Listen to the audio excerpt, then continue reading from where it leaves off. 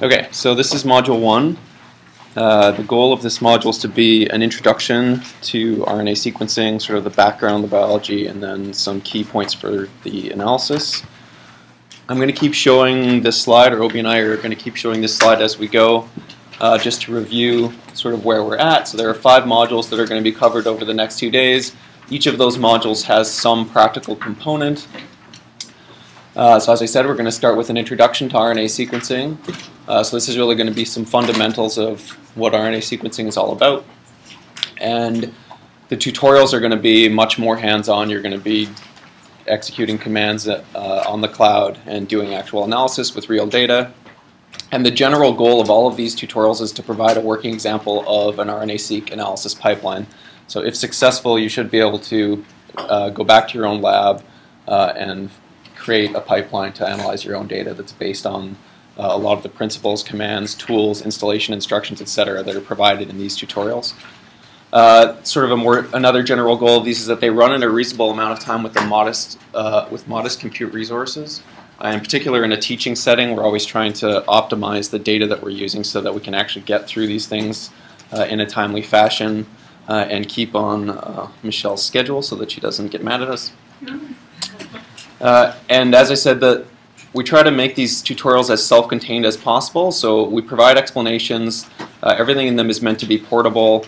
Uh, if there's a tool that's needed to do the analysis, instructions are provided on how that tool is installed and configured. So there shouldn't be very much, if any, of a sort of black box uh, feeling to it. You should walk away with everything that you need. Uh, so that's our goal, and uh, if we fail in that goal, we're, we're always trying to improve, and we're interested to, to hear uh, where that doesn't work uh, if you find that's the case when you get back to your own labs. So just to go over some of the, the specific learning objectives of this module. So as I said, we're going to talk about some theory and practice of RNA sequencing analysis. Uh, we'll briefly go over the rationale for RNA sequencing. Probably uh, most of you are already convinced since you're uh, here at this course taking an interest. Uh, but just in case you need to rationalize it to someone else, we'll give you some pointers. Uh, and then we're going to go through some of the challenges that are specific to RNA-seq. So some the, there are some analysis challenges that are general to uh, next-generation sequencing uh, of DNA, whole genome sequence, ex exome sequencing, and so on. Uh, we're going to talk about some of those general challenges, but we're really going to focus on challenges that are specific to RNA sequence analysis. Uh, we'll talk about some of the general goals and themes of analysis workflows. So what do these pipelines look like? There's uh, an infinite number of ways to plug various tools together, and we're going to talk about some of the, the themes that come into play. We're going to spend a lot of the time in this lecture in particular going over some of the common technical questions that are related to RNA-seq analysis. So these are things that I get asked over and over. Uh, so rather than waiting to be asked, uh, we've just created content that tries to ans answer these questions. Uh, but I would encourage you, uh, especially in this first lecture, to ask questions as we go, uh, as long as we don't uh, start to burn up too much time. I think it's more interactive if we uh, have a bit of back and forth. Uh, I'm going to go over how we get uh, how you can get help outside of this course when it's done, uh, and then I'll give a brief introduction to the uh, hands-on tutorial, uh, so that when you come back from the coffee break, things should be you're sort of primed with some of the ideas that you're going to be putting in place. So you probably know this almost as well as I do. Maybe some of you know it better than I do. Uh, but just so that we're on the same page, I thought I would start with sort of the central dogma uh, as a, just a br brief review. So what, what's being shown here is uh, a DNA template. This is genomic DNA uh, in cartoon form uh, with exons uh, depicted as colored boxes interspersed with introns. this example is based on human or eukaryotic gene expression uh, and these introns are not to scale, so of course introns are, are very large compared to, to exons. They're just shown this way for display purposes. Uh, but what happens is that uh, uh an RNA polymerase comes along, uh, it binds upstream of a transcription start site and initiates transcription and produces a single-stranded pre-mRNA molecule, which is depicted here, where the introns are still in place.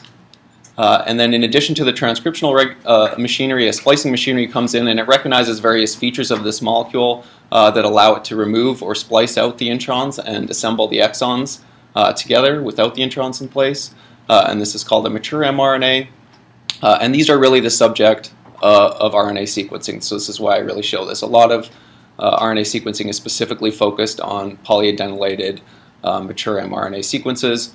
Uh, but it's really important to remember that RNA sequencing is not actually sequencing these things uh, in several ways. Uh, so one, one thing is that we're not actually sequencing RNA directly. We're making cDNA from RNA and then we're sequencing that.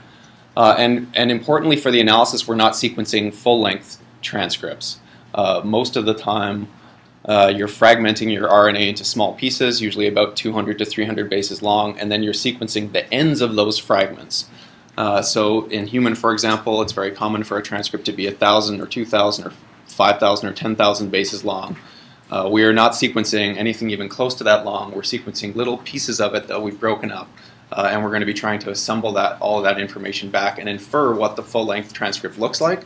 Uh, but it's important to remember that there's a lot of inference going on here. So uh, you should always be a, a skeptical of predictions of what a full-length transcript looks like when they're based on RNA-seq because fundamentally the data is made up of pieces that you're trying to assemble back together like a jigsaw puzzle. uh, and then uh, what a lot of people are interested in, of course, is protein sequences, which will be translated from these mature mRNAs after they're exported from the nucleus to the cytoplasm. Uh, probably a, a, lot of us, if we could, uh, would prefer to just sequence these things directly, uh, but unfortunately there is no uh, high throughput way uh, sequencing proteins directly. At least nothing that's nearly as high throughput as RNA sequencing. So for now, uh, we're stuck with yet another layer of inference where we're sequencing RNAs uh, and trying to predict what that might mean at the protein level. So this is just an overview of sort of the, the wet lab, uh, a very, very high level overview of the wet lab side of RNA sequencing. So we're starting with some samples of interest. Uh, in our example data, we're going to be looking at uh, a tumor normal comparison. So I heard that at least a, one or two of you are uh, interested in doing differential expression analysis in cancer, so this tutorial is going to be very relevant to you. Uh, but you have some, some number of conditions of interest. Uh, from each of those you isolate RNAs, uh, and they're of variable lengths, uh, generally much longer than 250 bases. but we're going to generate cDNA, and then we're going to fragment those RNA, those cDNA fragment pieces into much smaller pieces, uh, often there's a size selection step, so you're either throwing away the really small stuff or you're actually selecting a very tight range of fragment sizes. Uh, and you're going to add Illumina linkers onto the end of those, which is what's depicted here with the uh, blue and uh, red rectangles. Uh, and then we're going to sequence those on an Illumina flow cell, which is what's depicted here. Uh, it's basically the size of a microarray of a, a, a, slide that you would look at under a microscope. it has eight lanes on it and each of those uh, lanes consists of a very long, thin flow cell uh, over which you flow uh, all of these small fragments, uh, and then an amplification occurs and sequencing occurs directly uh, on the flow cell. from this small piece of substrate, we're going to produce hundreds of millions of paired reads in a single run. on the HiSeq 2000, this takes about 10 days. On the HiSeq 2500, you can do it in a couple days. And what you get out the end are these paired uh, reads. So you have a small fragment uh, with reads of some length coming in from either side, uh, and these lengths can vary quite a bit. Uh, so in the integrated assignment, we're going to be using very small reads that were generated quite a while ago. I believe they're 36 bases long. Uh, but probably the, the most common uh, read size right now is a, a paired 100 mer. So you have a 300 base fragment, and you've got 100 bases read in from one side and 100 bases read in from the other side, giving you 200 bases total with some uh, amount of space in between. Uh, all of the analysis uh, in RNA-seq generally follows this theme of mapping to some combination of the genome, the transcriptome, and predicted exon junctions. And that's exactly what we're going to do in, in our example analysis. Uh, and then after uh, mapping to the genome, uh, and there are many different ways to do that, but assuming that you've successfully mapped all of your reads to the genome, uh, downstream analysis starts. So this can involve uh, many different uh, tools to give you different types of predictions about what genes are expressed, genes that are differentially expressed, uh, RNA fusions, uh, variants, uh, mutations, and so forth. so why would we sequence up RNA in the first place as opposed to DNA? This is a question that uh, comes up uh, in a, a, genome center context where people are really focused on DNA a lot, uh, which maybe doesn't apply to you at all. Uh, but there, of course, there are lots of reasons why would be, we would be interested in RNA. One is that we may be interested in functional studies. Uh, so the genome in our in our uh, study may be constant, but some experimental condition, condition can still have a pronounced effect on gene expression levels. So for example, you might have a cell line that's being treated with a drug and you're comparing it to untreated to try to understand the effects of that drug. Uh, you could have a, a, mouse model and have a wild type versus a knockout uh, version of that mouse.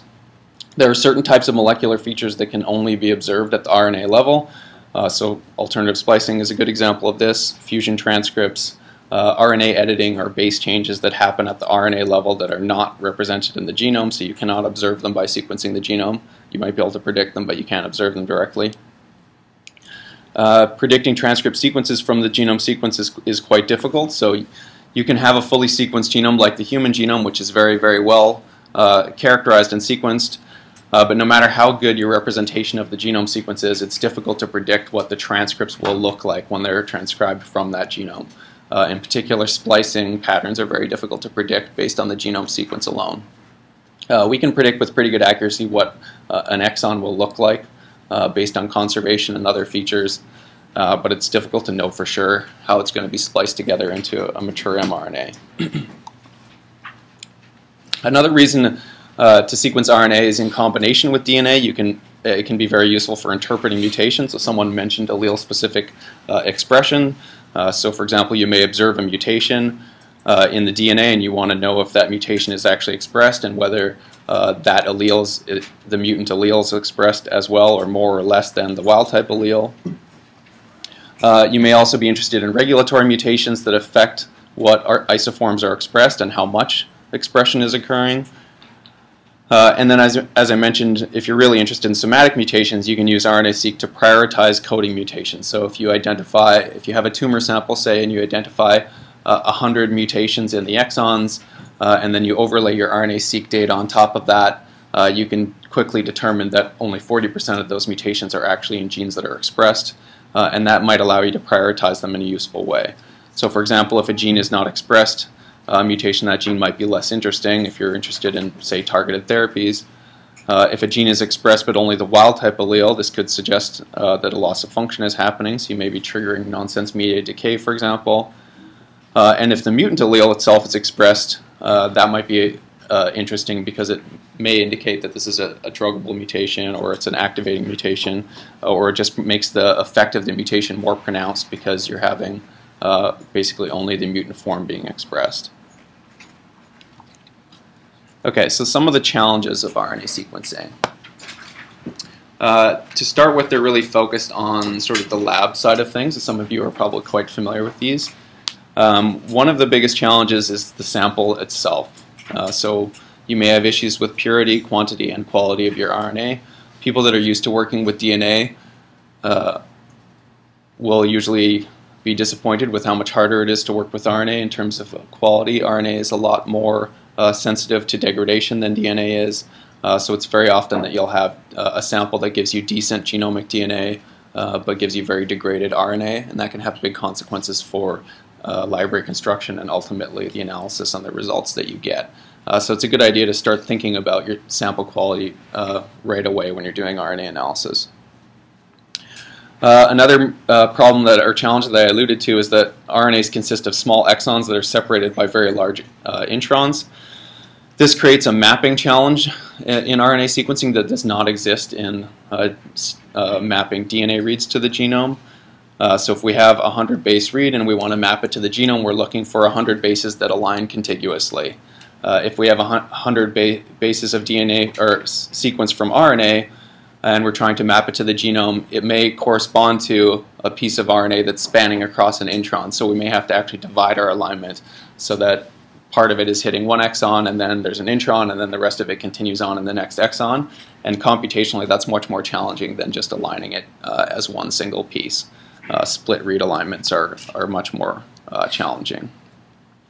Uh, another challenge that's specific to RNA that you don't have in the genomic DNA nearly as much is that the rel relative abundance uh, that you expect from reads across uh, the transcriptome varies wildly. So when you're sequencing DNA, if you have, say, a, a diploid genome in human, you expect approximately equal, e uh, uniform coverage across the genome when you map your reads back to the genome. So all of the DNA is there in approximately the same amounts. RNA, of course, this is not the case. The the expression level of RNAs vary over a huge range. So 10 to the 5 to 10 to the 7 orders of magnitude is sort of the, the estimate that you'll hear.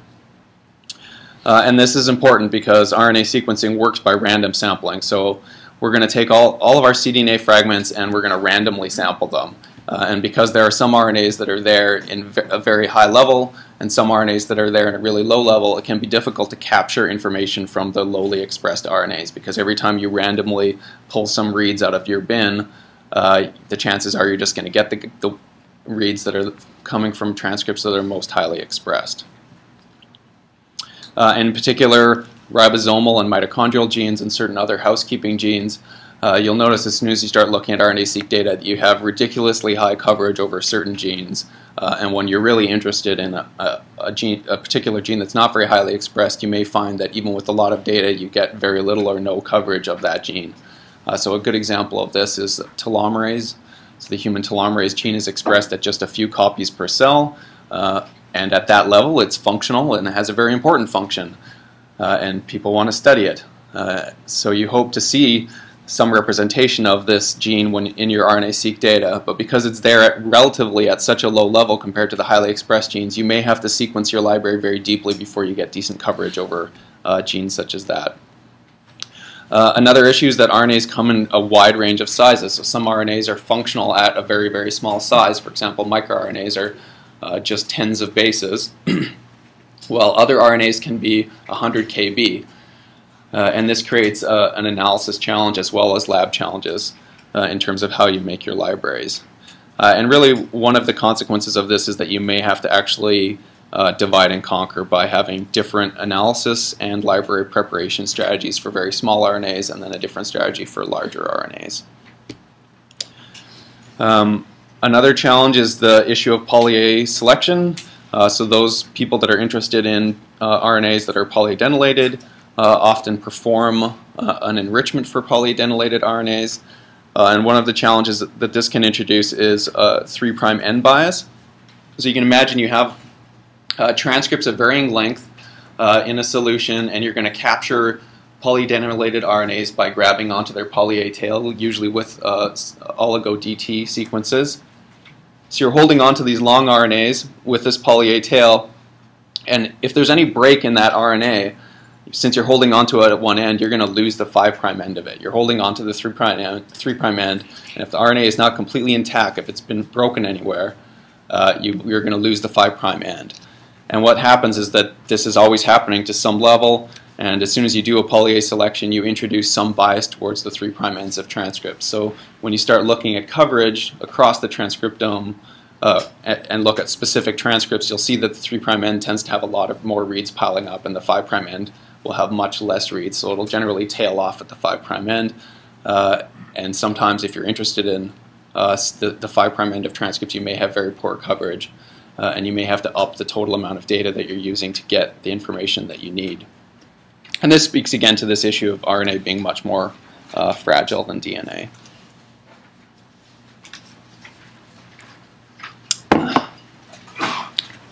So I usually show this slide uh, just because uh, this is a very common uh, method for assessing the quality of RNAs. Oh, sorry, a couple questions.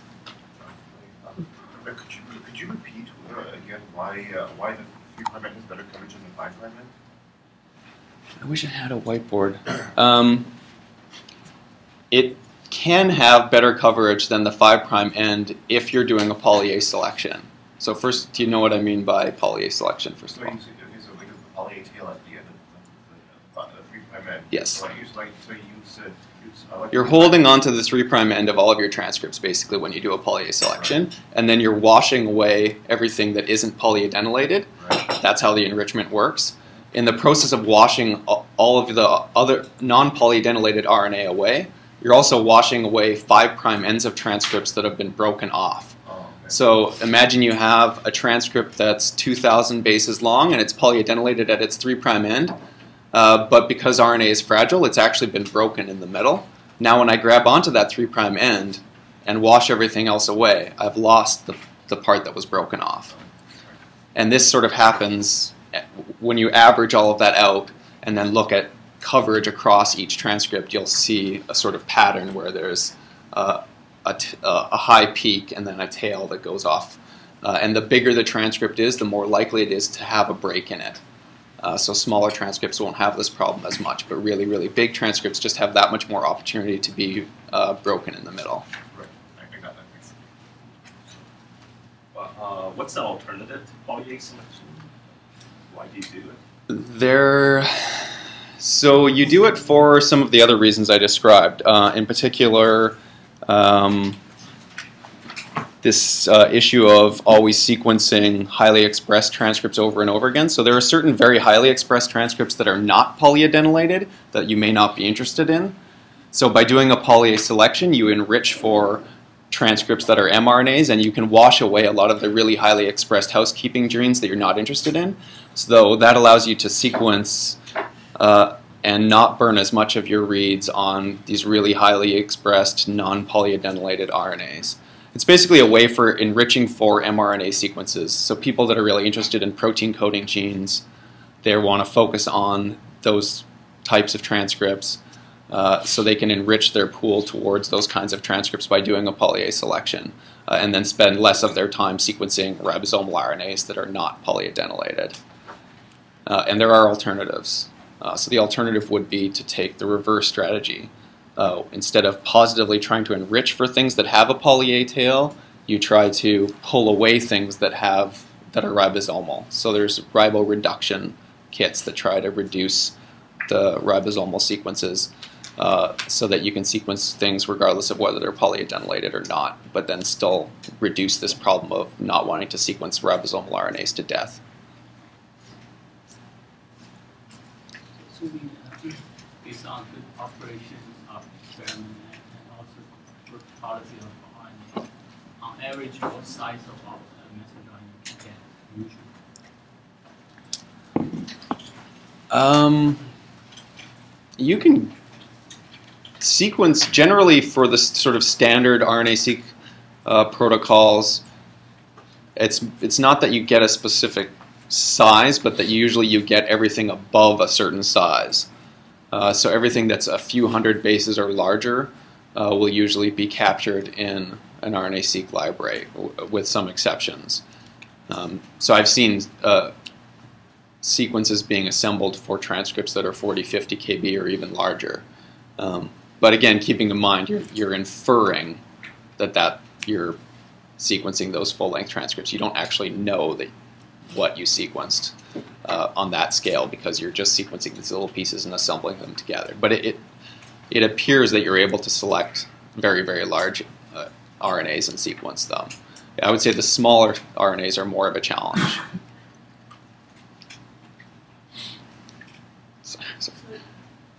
Sorry, he, he, he's been waiting for a while. Sorry. No, just as information actually, Illumina is uh, trying to get away from poly selection. And generally speaking, so uh, in our lab also, I developed my own uh, ribosomal RNA diffusion, and sometimes I use some commercial kit for ribosomal RNA diffusion from Illumina, and uh, it works really much. Well, it has also, as we mentioned, some disadvantages, but generally speaking, works much better than poly selection. We deplete, or try to deplete as much as ribosomal RNA that uh, we can, and then sequence the fragment and do the library prep and sequence. Uh, so I think I think I actually have a slide that talks about the galaxy of ways that you can make an RNA-seq library, and we could probably talk all afternoon about the plus the pros and cons of each of these different uh, arms. But uh, there was one more question though. Yeah.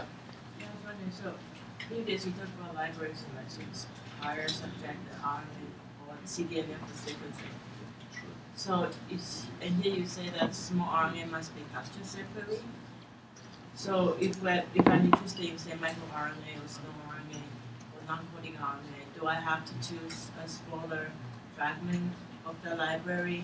And then if I want to start decoding gene, I would choose a bigger fragment of the library? Basically, yeah. Uh, but it's a very it's a very common strategy to have a a, a library construction protocol for small RNAs that involves selecting the very a, a small size selection, uh, and then for larger RNAs, uh, it's also it's common to just remove the small fraction and then fragment after that and make your libraries from that. And then you may or may not do an additional size selection after that.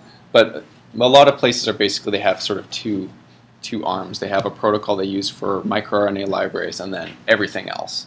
Uh, you can sort of cover most of the transcriptome by dividing the, into those two strategies.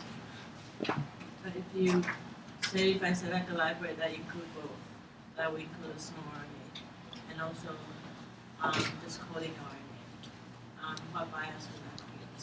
Would that create towards more the sequencing of small RNA? You may use a lot of your sequence if there's some really highly expressed short RNAs. Um, I, ha I, haven't actually looked at any data from anyone that did that, it's, so I, I, can't really say. Um, it seems like everyone does either a size selection with a very tight range or they remove small uh, molecules from the before making the library. Um, I haven't seen uh, an attempt to just let's do the entire transcriptome completely unbiased. Um, and I think that there's a reason for that, that it probably causes problems. I, I think the, this one is more like with that the technical change. If you think that microRNA, the 20, 30 nucleotides, you add adapter. And in the yeah. normal like, count transcriptome, you try to get rid of prime, primer dimer. And so the, the reverse phase, that purification just they, they are not compatible. So you have to define a range you want to select. And so I think this some people also sequence really small, like microRNAs, by actually concatenating them into bigger pieces, and then because otherwise you're wasting. The sequencer produces reads that are 100 bases long. If your fragment only has 20 bases of sequence in it that you're interested in, that's kind of wasteful. Um, I think, yeah, it's going to be hard to do. Um, along those lines, are you going to address what type of metrics you need to look at for coverage for deciding whether the library selection that you have is appropriate for what you're looking for? Like, you're saying that, you know, you're mentioning a divided conquer methodology for looking at specific subsets of the transcriptome. It's fine. Um, will you address, okay, now we've picked this subset. Do we have, have we zeroed in on the appropriate library, and is there a way to check for that? We're going to review some tools that do QC of RNA-seq data, and they provide a huge number of metrics, some of which can be used to infer uh, some of these issues. Uh, okay. Okay, so I usually show this example. This is an example of an Agilent, Agilent uh, nano assay of some RNAs. Uh, and I provide this link here, which you can check out later, that shows uh, a wide range of examples uh, of runs of this instrument with RNAs of varying qualities from different sources of material.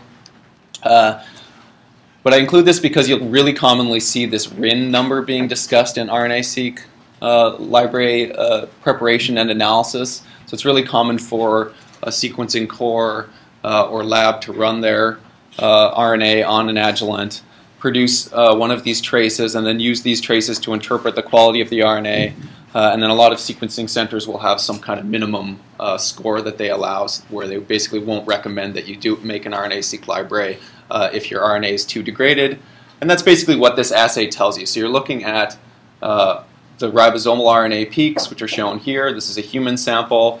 and the more secondary peaks you see, the more degraded the RNA is. So this is basically a modern day example of running your RNA on a gel and seeing how smeared it is. Uh, so if there's a smear that's uh, sort of really uniform and you don't really see really distinct ribosomal bands, you would say your RNA is very degraded.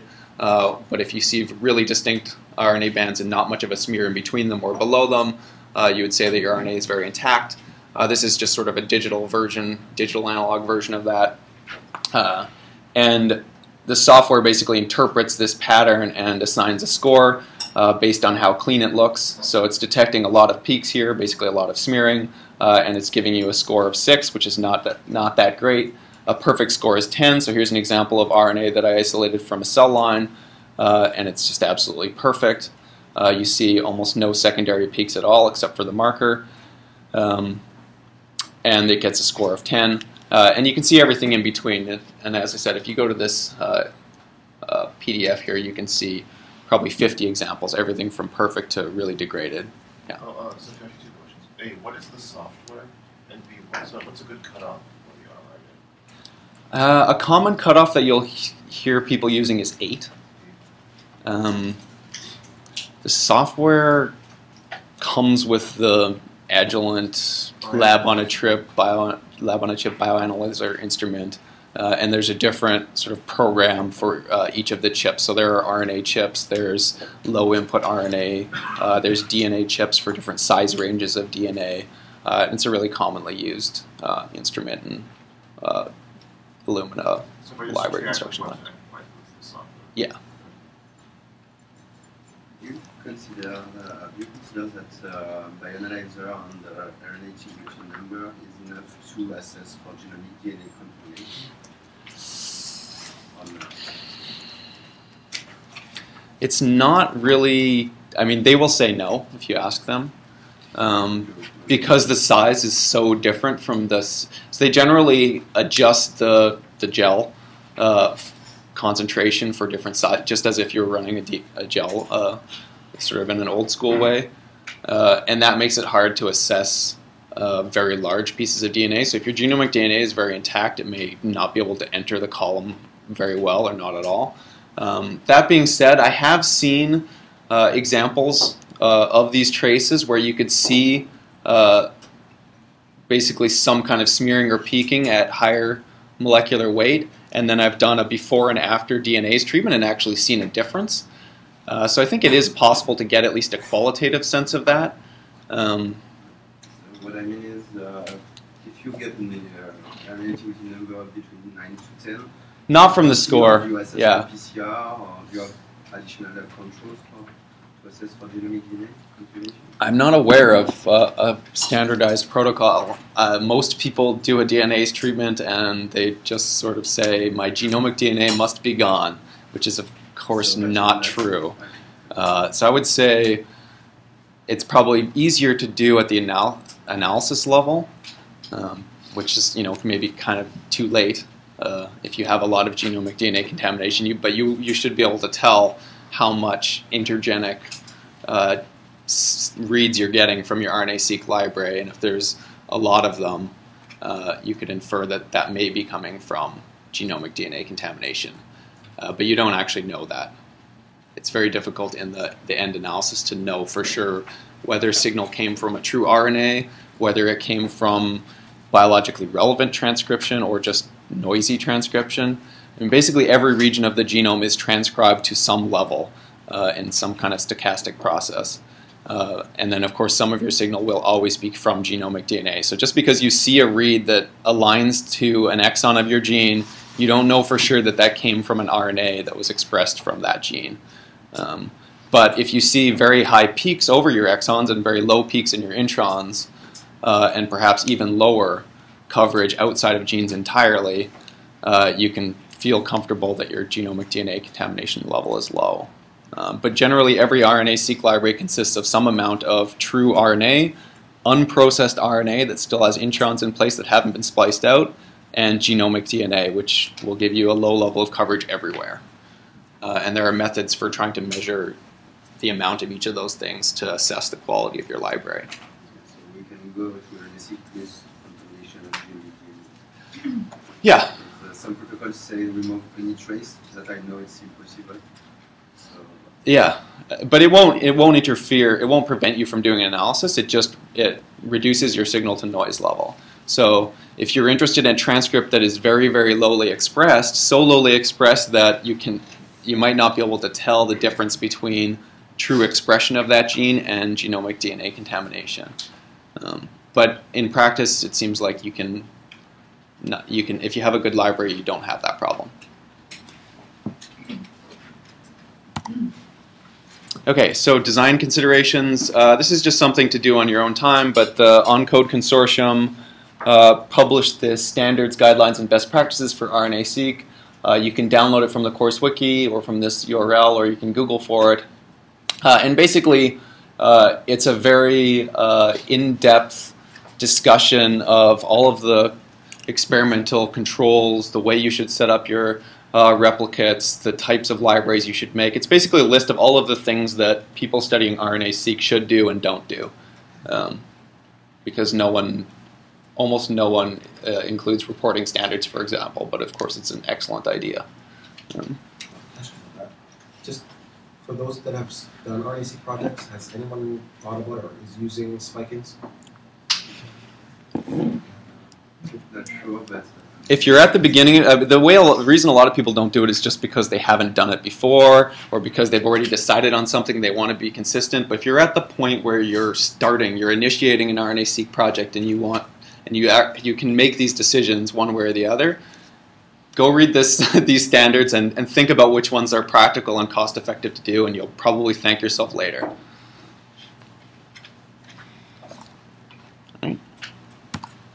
Okay, so I alluded to this earlier. There are many, many, many RNA-seq library construction strategies, uh, and this is uh, another a challenge for analysis, um, which is propagates from the uncertainty and changing landscape on the lab side of things into the analysis side of things. Uh, it doesn't seem that people have really stabilized on a one good way to make RNA-seq libraries. There are still new kits coming out all the time. Uh, yeah, I think we're, we're- a lot of us are lost. No, you, you do not have this slide. Oh, sorry. because they were This was like a this was a last minute addition. This slide. So, Sorry. but, but the full deck is on the wiki. Yeah.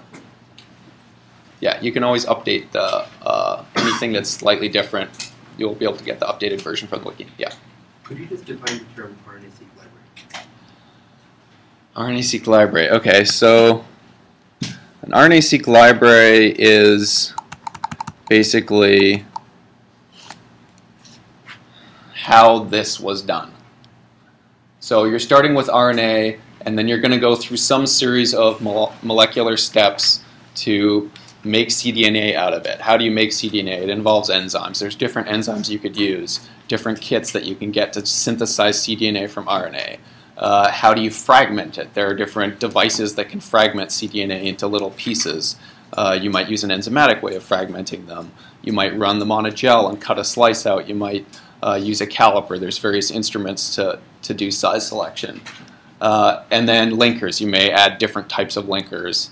Uh, and all of this process together and other details that I'm probably not mentioning uh, make up the library. And the library is the thing, whatever molecules that you've made that you're going to put on the flow cell and sequence. Uh, so alternate libraries are different ways of doing this. So you might have a library that's made up of little fragments. You might have a library that's made of bigger, big fragments. You might have a library where the cDNA was synthesized with some kit and then it was amplified, or maybe it wasn't amplified. Uh, so that's what this slide is talking about. All of those uh, tweaks to the molecular biology that happens when you're taking going from RNA to sequence data. Does that make sense? Okay, so this one we've talked about already, so, so and it's already been mentioned uh, by others that you can start with total RNA. This is generally what you're isolating from your cells, uh, and you can do a poly A selection, or you can leave it as total RNA, uh, and you can do a riboreduction. So you can try to uh, enrich for poly A uh, species, or you can try to reduce uh, the ribosomal RNA content, or you could do both or neither. Size selection, you can do this before or after cDNA synthesis. So you might do a size selection on the uh, RNA itself, or you might synthesize cDNA from your RNA, uh, fragment it, and then do a size selection. Uh, your library may be focused on small RNAs versus large RNAs, and that will, of course, influence your size selection strategy. Uh, if you do uh, select uh, a size distribution, so you basically run your cDNA on a gel and you cut out a section of it to represent a certain size, you can do that different ways. You could select a very tight band, or you could have a very broad band, or you might just cut away the stuff that's too small. Uh, and you might not do that on a gel. You might use some kind of instrument that allows you to do this, or a column. Uh, there's some, many different strategies. Uh, there are some kits that do cDNA uh, synthesis and then linear amplification uh, with some kind of polymerase, for example, a T7 polymerase. Uh, and this could be done if you have very small amounts of RNA, uh, where you want to start with a very, like, say, a tumor, uh, fine needle biopsy from a tumor sample. You might just have a very tiny amount of material and you need to amplify it uh, to get enough material to make a library. Uh, you can have stranded versus unstranded libraries. So we're going to talk a bit more about this. Uh, up until now, most RNA-seq libraries have been made in such a way that you don't actually know which strand was being transcribed when you're analyzing the data. So you're making double-stranded cDNAs, uh, cDNAs and then sequencing those. So when you align them back to the genome, you get reads aligning as if they came from either strand.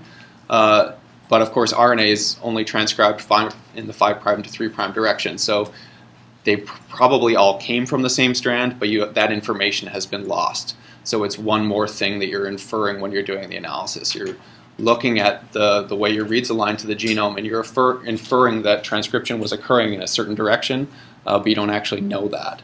Uh, you don't know which strand was being transcribed, and it could be a combination of the two, uh, and you wouldn't be able to tell the difference necessarily.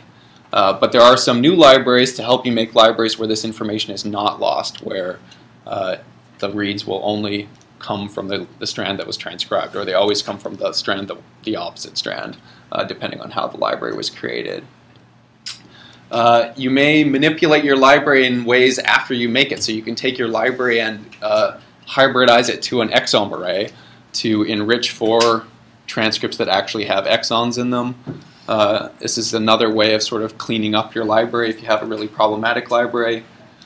There are library normalization strategies. So what I mean by normalization here is, so I talked about this idea that some RNAs are very, very highly expressed and some RNAs are very, very lowly expressed. Normalization is an attempt to try to collapse that a bit so that you're getting rid of some of the really highly expressed things so they're, they're not so overrepresented. Uh, and you effectively you're allowing yourself to sequence uh, more easily the things that are lowly expressed. Uh, all of these details can affect the analysis uh, strategy and certainly the interpretation of the analysis. Uh, and probably the, the most the simplest way that it affects that is that if you're not doing things one way, you're going to have problems comparing uh, between your uh, different conditions. So you generally want to pick a strategy and stick with it at least within a project. So if you're comparing tumor and normal, you don't want your normal to be the library to be made in a different way from the tumor. Uh, and that should be obvious, but invariably this happens uh, because different projects get merged or someone, you know, some PI says, well, why don't you compare it to this data we produced last year? Uh, it's RNA-seq data, it's all the same thing, right? Uh, it might not be. So if it was, if the library was made in a significantly different way, you may see differences that are down to the way the library was made and don't have anything to do with biology. Is commonly used, uh, the exome microarray It is not commonly used that I'm aware of. There have been a few papers describing the idea of it. Um, we use it for uh, libraries that uh, are very from very challenging samples. So, for example, uh, if you have uh, RNA from a formalin fixed paraffin embedded tumor sample that's a block that came from some pathology lab in a hospital and was sitting on a shelf for five years. The RNA is really, really badly degraded. There's not very much of it. Uh, it's sort of a library cleanup uh, strategy that can help recover some really problematic uh, libraries. But it's yeah, it's an unusual thing. You would only do it in certain circumstances for certain applications.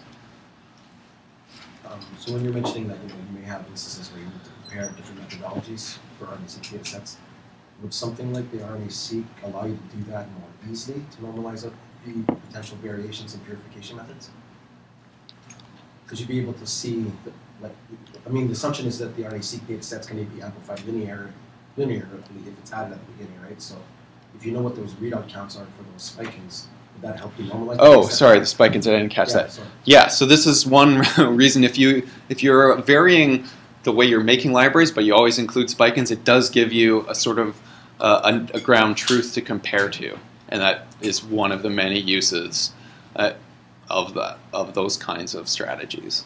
A- And even if you're making library, if your intent is to make libraries the same way, something can go wrong, and if you have the spike in there, it will really help you tell when something went went, wrong and when you really have to start worrying about your interpretation of the results.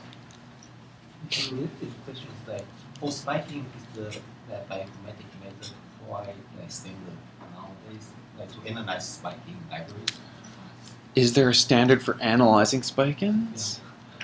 I would not know because I still haven't encountered a data set that had a spike in spiked into it. Um, there may be some standards proposed in the document that I ref- referenced, but they will probably be very high level. I mean, it's not a it's not a practical, hands-on uh, recommendation. Uh, but this is a common strategy from the microarray days. For, I mean, this is spike-in's an old, very old idea.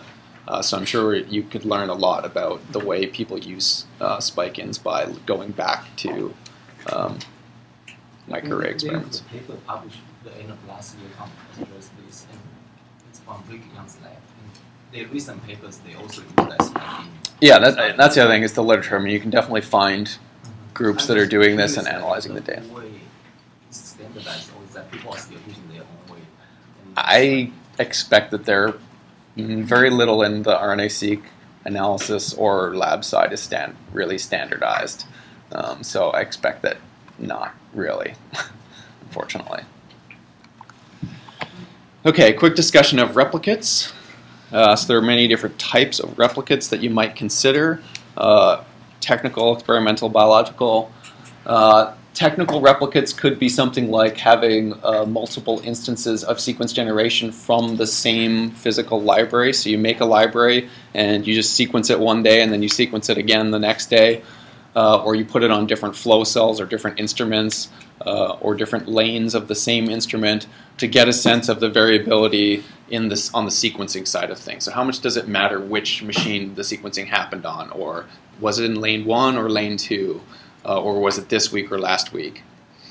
Uh, and just to quickly address that, uh, the Illumina technology right now is very, very stabilized. Um, these kind, no one does these kinds of replicates anymore.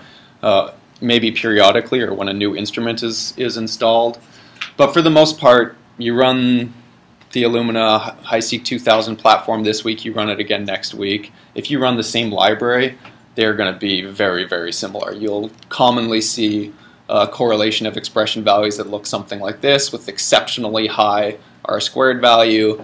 Uh, basically, you don't need to worry about producing more data, about worrying that it's on a different instrument or a different flow cell. If it's the same library, you can safely go back to that library and get another lane of data and just add it into the data you already have.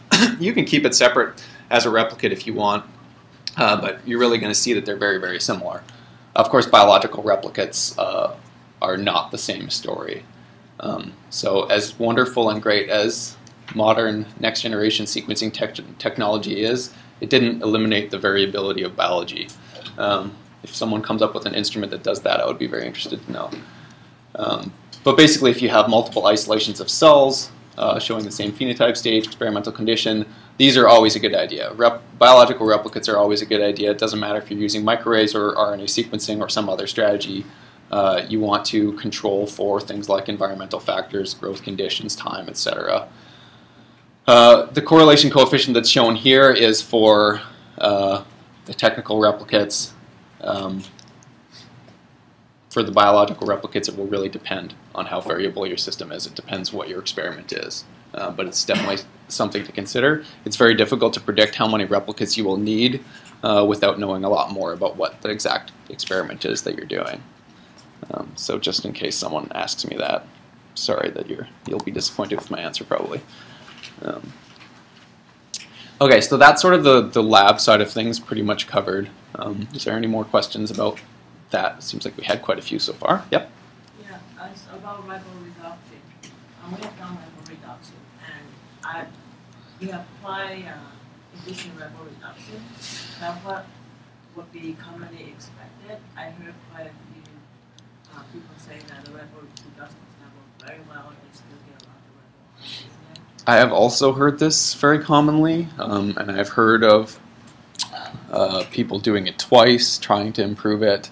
Uh, they get, say, I mean, even if you get an 80% reduction, um, that still leaves a lot of ribosomal RNA because, uh, so for example, in a species like human, 95 to 98% of all RNAs are ribosomal RNAs, and the tiny fraction, the 2 to 5% that's left, is the mRNAs and other RNAs that you're actually interested in.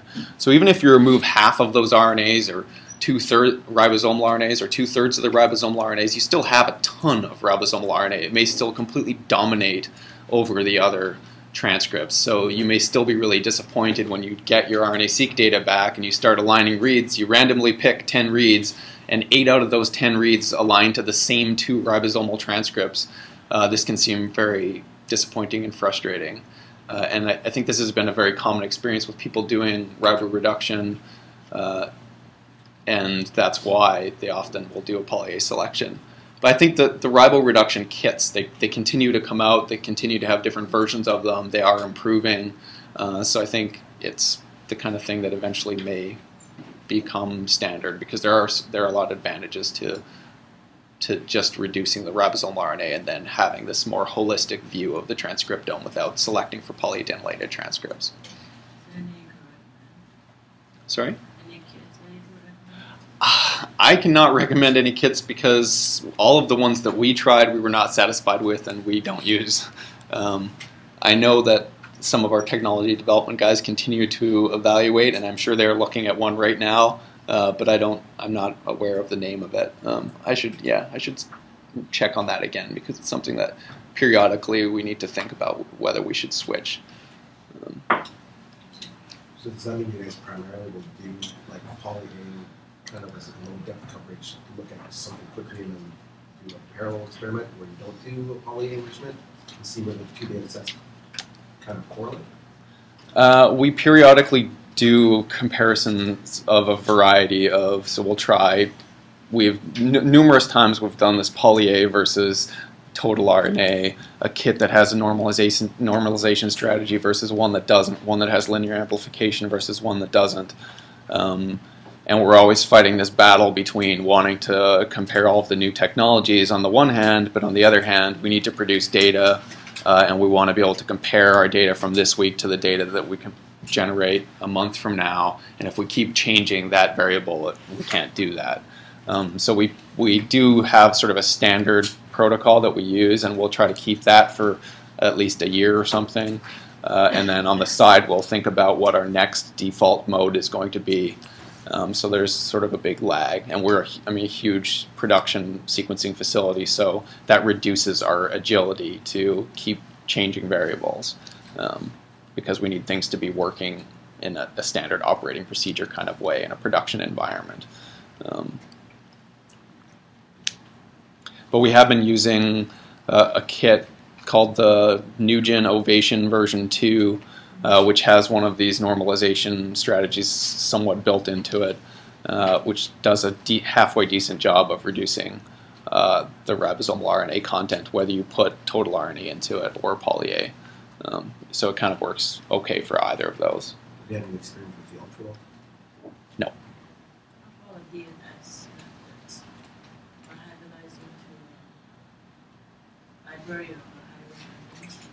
Um, we did one experiment maybe six months ago uh, with duplex specific normalization and we're not very satisfied with the results. But I know that there are various companies working on kits that are trying to optimize that. I mean, it seems promising, the idea of it, anyways. We tried it, but we got very few left. Yeah. Yeah. We weren't very satisfied with it either use a spiking control in your standard protocol? Yeah, we are not we are not using spike-in controls, but we should. Yes, absolutely recommend them. Yeah, I have recommended them to the guys that make our libraries. um, I mean, there's always this trade-off between complexity of making the library and cost and the number of steps and and actually getting things done. So it's one of those things where everyone can agree it's a good idea and then somehow it doesn't happen. And that's just the nature of bureaucracy. any argument against using Other than cost, uh, you can adjust the the total molarity that you're adding to not be that costly in terms of the number of reads. I mean, I don't. I think a, a low level of spike in will still be useful, and it should not burn that many reads. But it, probably there's someone that thinks, oh, I don't want to waste my reads sequencing those same control sequences over and over again. Um, My problem is nobody's using it, so it should be so interesting, but nobody's using it. you should try it. Come back next year and let us know how it goes. Okay, so I think we should get into some analysis uh, content now, since uh, we're we've used a lot of time already.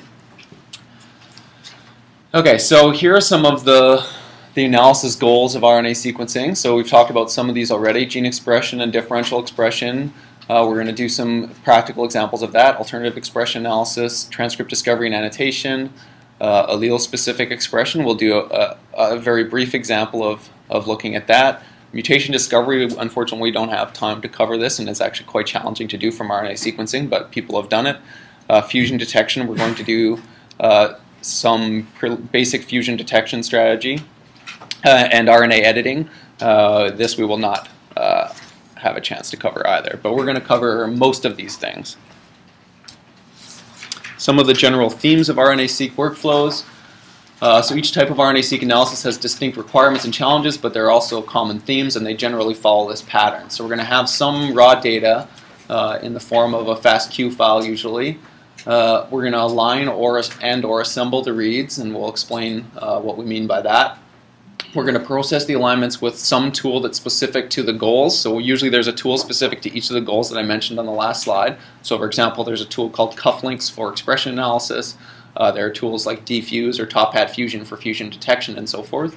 Uh, and then there will usually be some kind of post-processing where we're going to import the output from one of these tools into some kind of downstream software that helps us summarize or visualize or, or perform statistics or so forth. Uh, and that's what's described here.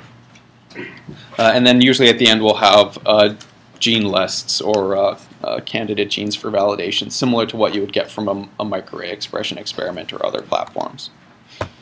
Uh, this is just for, for reference, some, some tool recommendations. These are some tools that I've used that I found useful. Uh, we're going to provide a whole bunch of links, uh, figures, etc., that review a galaxy of tools that you uh, might use for different purposes. The, the details are not really important. This is just something for reference in your binder. Uh, so the SEQanswers exercise. So I had a couple exercises in here. What are we doing for time? We're still okay. Uh, so there are two forums that are really useful for uh, asking questions about uh, next-gen sequencing analysis, bioinformatics, etc. Uh, one of those is SEQanswers. So I thought we could just take a, a quick break from the lecture, spend a few minutes to go uh, and just run through these four steps at SEQanswers. So you're basically going to go to this website and go to the wiki link uh, and basically, we're going to look at a list of software tools for RNA-seq analysis that these guys are aggregating. And this is a way to keep on top of the latest developments. So we try to update these slides to wherever the field is at as of today. But a month from now, a new tool will come out, uh, and you may want to hear about it. And this is one of the ways that you can learn about uh, the latest developments in the field. Uh, so we'll just give you a few minutes to do that, and then we'll continue on.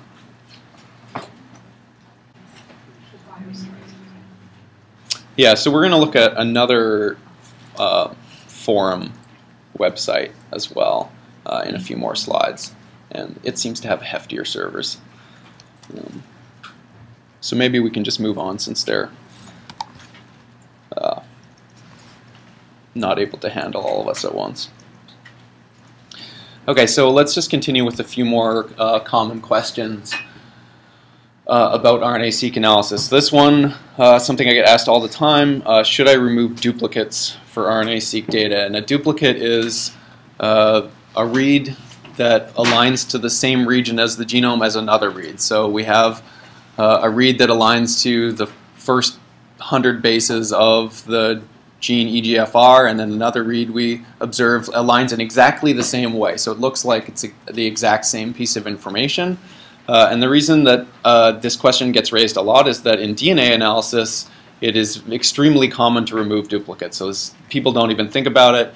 Uh, you align all of your data against the genome, and any reads that align in the same place, you automatically mark them, and you do, you do not consider uh, them, you basically say these are redundant pieces of information. I'm just going to count uh, that one uh, occurrence of this alignment. Uh, and then when I do variant calling or other things with my genomic DNA, where I'm not going to double count reads that align to the same place. Uh, and the reason that they do that is that during library construction, there's a PCR amplification step. And the worry is that if a, uh, a read aligns to exactly the same region as another read, that those reads were probably actually uh, amplification artifacts.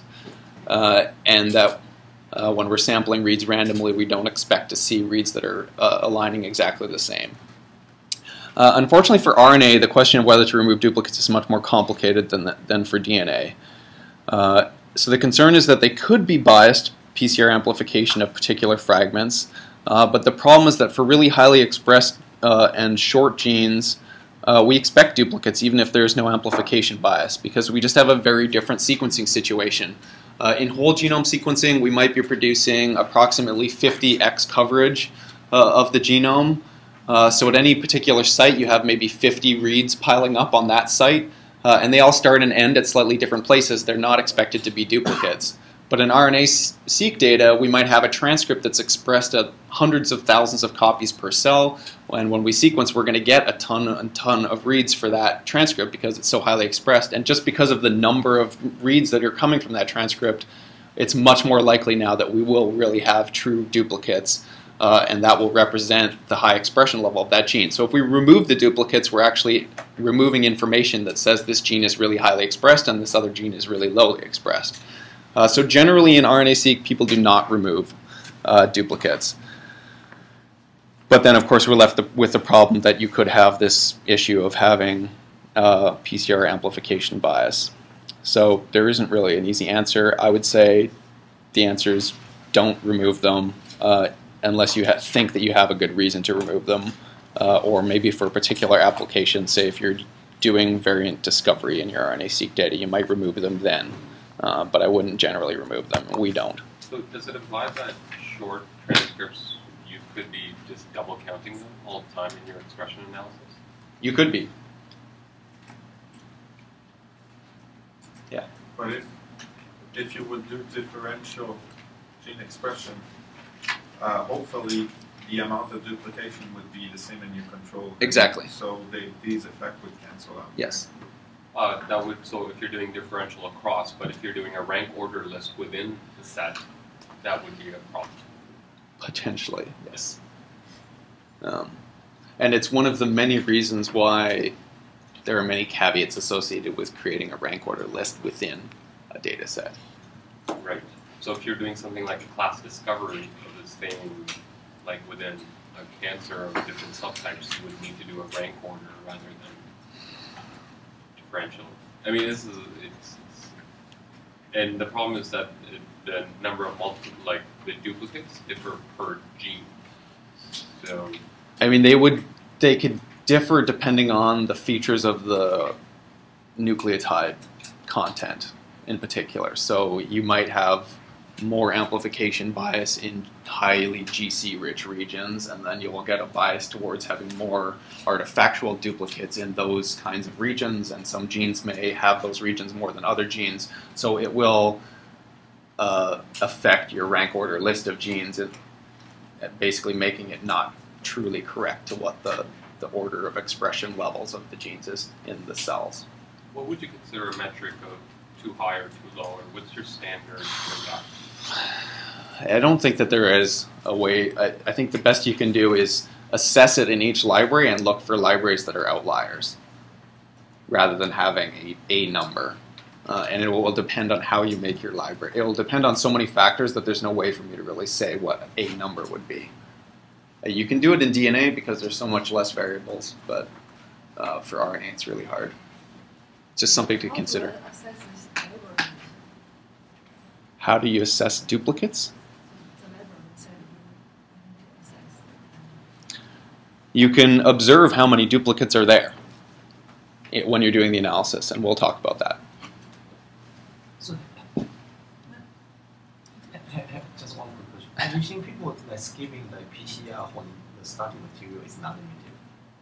Just don't do PCR. Yes. And. Um, generally, you can do much less PCR. You cannot do no PCR because you need to enrich for fragments that have linkers to allow sequencing to occur on the instrument. Um, but we definitely adjust the amount of PCR amplification cycles according to how much input was there, and we lower it as much as possible.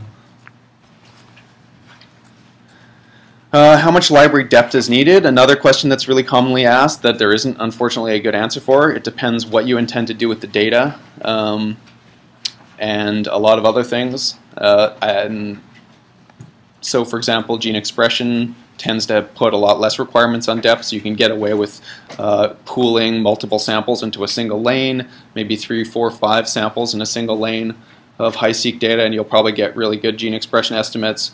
Uh, but for something like alternative expression or mutation calling, you need much more data to do that well.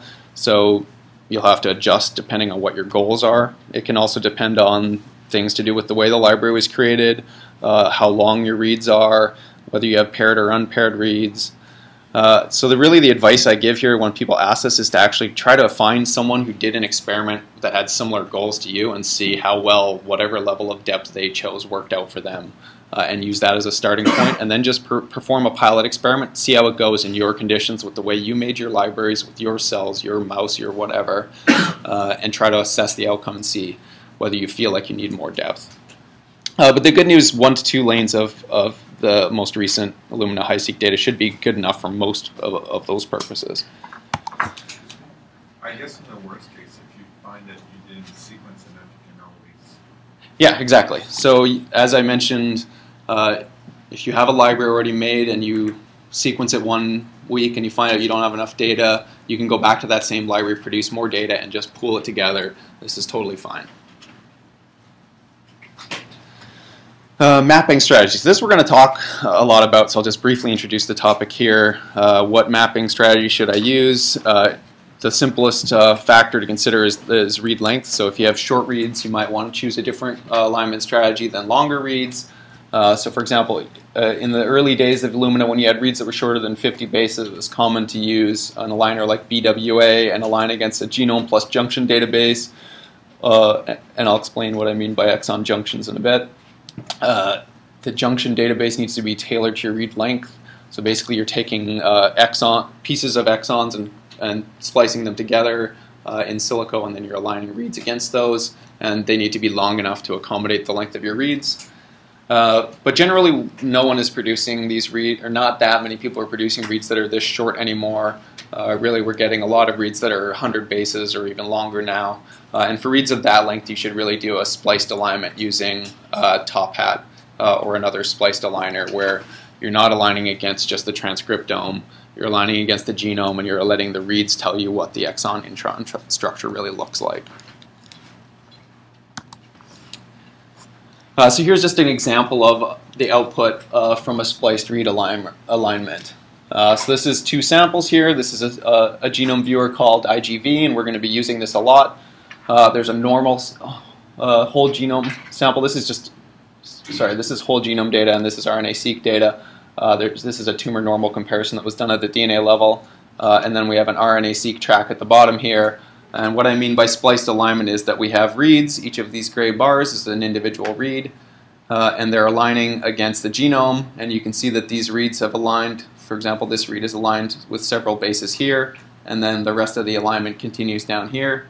And if we compare down to the gene track at the bottom, we can see that that alignment corresponds to uh, an intron. So basically we've got an exon here and an exon there, exon here, an exon there, and an intron in between.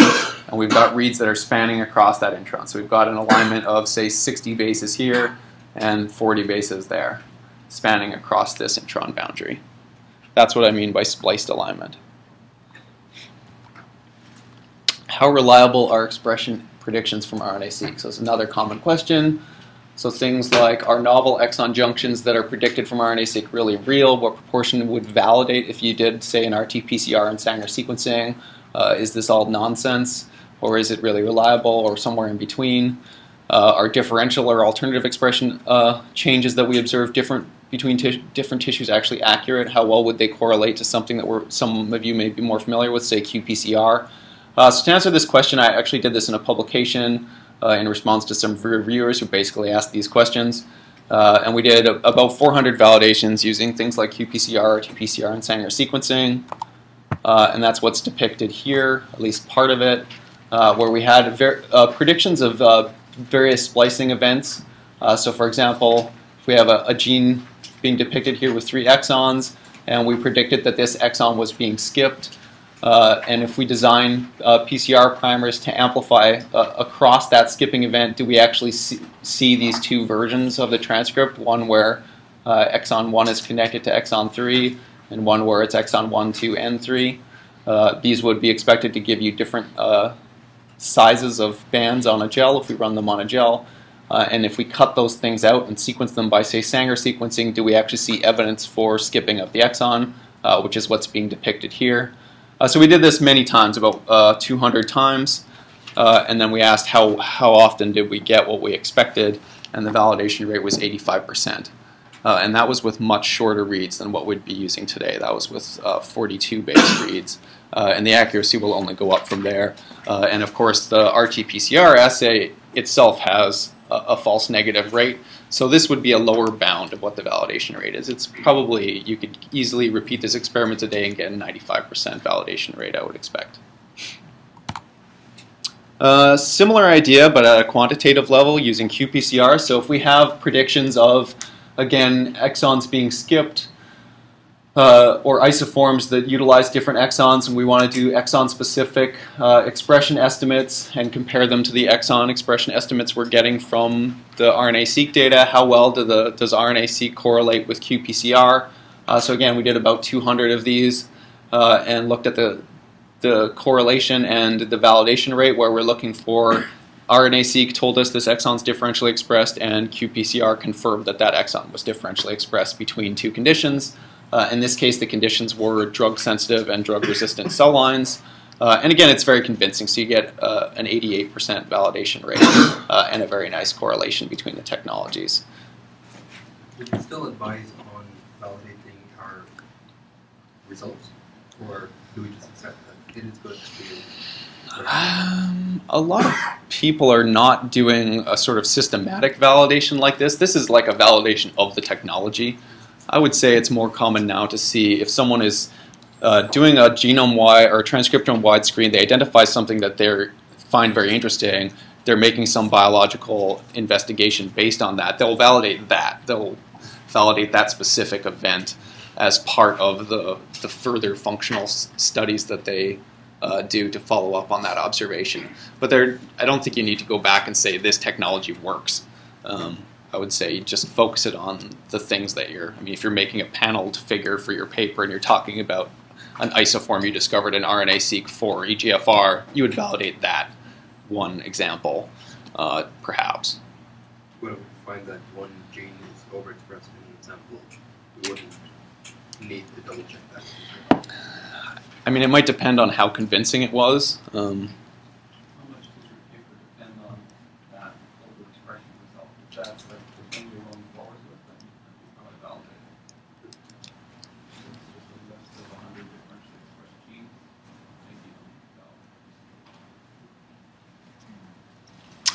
Okay. Uh, this is the last slide of the lecture proper, uh, which was to do a similar exercise as what we did before with the SEQanswers. Uh, and this one, I, would like to encourage you to at least if, go and sign up to BioStar if you have not already signed up. Um, it's really simple. If you have a Google account or a Yahoo account, you don't even actually need to create a new account. Uh, there's a, a, an OpenID sign-in. Uh, most people have uh, I think there might even be like Facebook or something. Um, uh, I can do it live. I can't show what it looks like for someone who isn't registered because I am registered. But uh, if you go to biostars.org and okay yeah, so if you go to biostars.org and you are not signed in, you should be able to hit the, the sign in button and you will see this. So if you have one of these four things already, you basically can just click that button. It'll like automatically log you in and create a, an account for you. Uh, if you don't have one, you can still create uh, a login. You can create an OpenID login if you don't have any of those accounts. And Malachi, can you go to your favorite sections within Biostar to find things? So, okay, if I log in, so for me, I use my Google to sign in. So I just press the Google button and it knows what to do. Uh, so now I'm logged in. Uh, and basically, it's a question and answer site uh, where people ask questions about bioinformatics analysis and they get answers. Um, and it's sort of divided. The layout is quite complicated, so it's a bit overwhelming at first, but basically the landing page is the most uh, active questions that are or discussions that are being considered right now. So for example, here someone is asking what does SAMTools flagstat results mean, which is not written very well, which is also very common with forums. Um, uh, and then each of these tabs will give you basically a different breakdown of questions. So you can look at popular uh, questions only if you want to eliminate uh, forum postings or discussions. Um, if you're interested in answering other people's questions, you can go to the unanswered section. Uh, as you participate, you will uh, be encouraged by earning little badges uh, to try to get you to participate and help other people as well as just asking questions. Uh, and the search is not bad. So for example, if we search for TopHat, uh, you will get various things like uh, questions that are relevant to TopHat. So for example, here's the top hit. Is TopHat the only mapper to consider for RNA-seq data? What a wonderful question. Uh, and you'll see often very detailed uh, descriptions uh, related to that question and they're ordered by the number of votes. Uh, so it's similar to the BIOS, uh, the Stack Exchange platform, if you're familiar with that. Um, I strongly encourage you that when you have a random bioinformatics question related to RNA-seq, there's a pretty good chance that someone has asked it already and that there may be a good answer already uh, on this site. Uh, yeah, and the how-to section contains additional tutorials, some of which are similar to what we're going to be talking about today. So there are many, many tutorials on different topics. Um,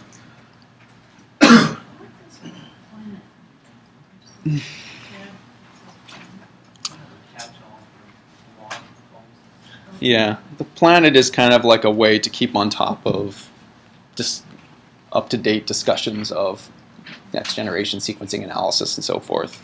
Um, there are also job postings, uh, including jobs from uh, our center.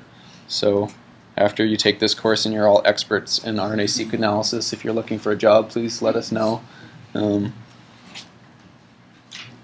we would love to hear from you. Okay? I think we better keep moving.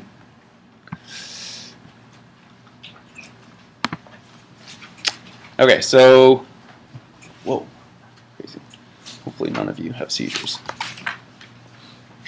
Okay, so I'm just going to do a quick introduction to the tutorial. Um, I'm going to show this flowchart over and over again, uh, so you should become pretty familiar with it. Uh, it's just showing the overall workflow of, of much of what we're going to go through. So we're going to start with some data that was produced uh, by a next-gen sequencing machine. Uh, as I mentioned before, we're using 2 by 100 MERS because this is sort of the, the most common format right now. We're going to go through a lot of details about how do we do take those reads and align them to the genome and transcriptome. Uh, how are we going to compile that those alignments into transcript predictions? We're going to use a tool called Cufflinks for that. Uh, we're going to merge all of our identifications of transcripts in, together uh, and compare them back to known genes. We're going to do some differential expression analysis, and then we're going to try to visualize these results. This is basically everything that we're going to do over today. Uh, and we're going to talk a lot about what the inputs to this process are. So we're going to be starting with raw sequence data. We're going to look at the format of files uh, that RNA-seq data comes in. Uh, we're going to look at the uh, reference genome. So all of this is based on having a reference genome. And we're only briefly going to talk about the situation where you don't have a reference genome because we don't have time to cover it. Uh, and then another critical uh, feature of a lot of these analyses is gene annotation. So we're going to look at the gene annotation file formats that you need to know about. Uh, and the first thing that we're going to do, which is what we're going to move to next, uh, is Module 1, which is really focused on the file types, so the input data, uh, the stuff that we're going to need to get going with our alignment and expression analysis.